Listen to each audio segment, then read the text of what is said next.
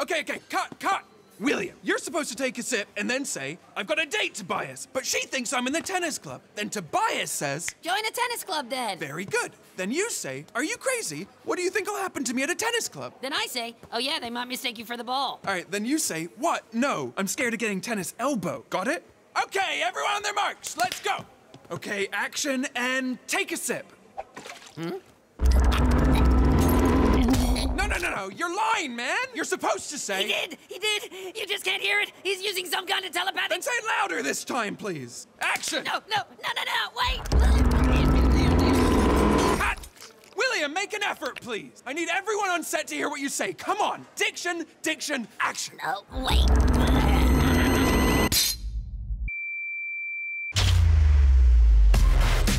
This is K-pop. Is Timmy. This is Charlie Ann. This is Peggy. And this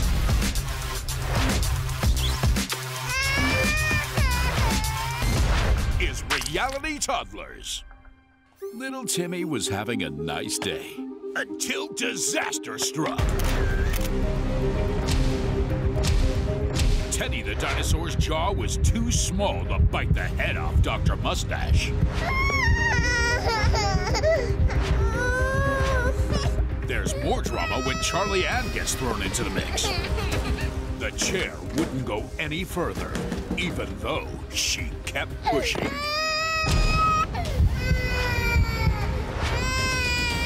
Will Peggy seize the chance to come between Charlie Ann and Timmy?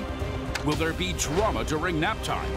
Will we just cut to more dramatic shots of nothing happening? Will someone please cancel this show and put us all out of our misery? The answer is in next week's episode of Reality Toddlers. We're here to tell you the story of a boy. A boy who was born different. Welcome to Everyday Heroes.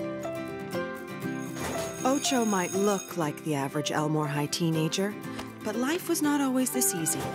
For he was born with three pairs of legs. This is the story of the boy who had three butts.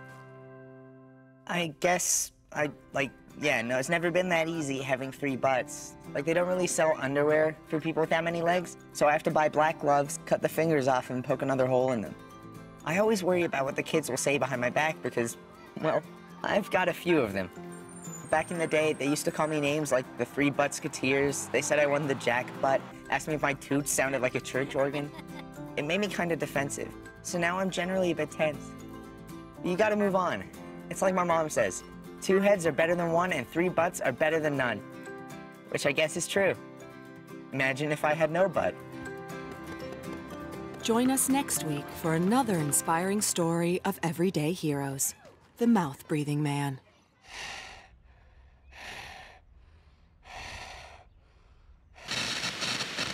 Okay, all right, stop. Oh no, this this is not gonna work. Okay, you, give me a character that is optimistic, fun, and that all the children will love. Uh, okay, I think I got one. He's a dog, you know, some kind of Great Dane that can't speak properly, and he's got all these kooky friends who wear flare trousers and they solve mysteries in a van. Great. Then from now on, children, you should give up on Gumball and watch this other guy. Uh, but isn't that on a different channel? So. No, no, no, wait!